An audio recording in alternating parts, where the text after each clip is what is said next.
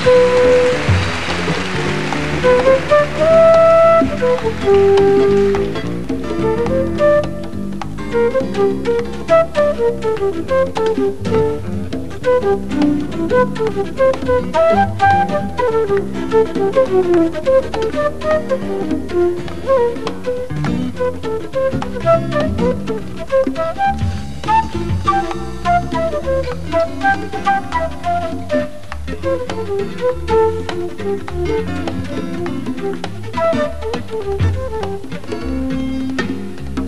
like to thank you for Lou Volpe on guitar. Frank Gravis on bass. Bobby Thomas Jr. on hand drums. And myself, we all thank you. Thank you very much.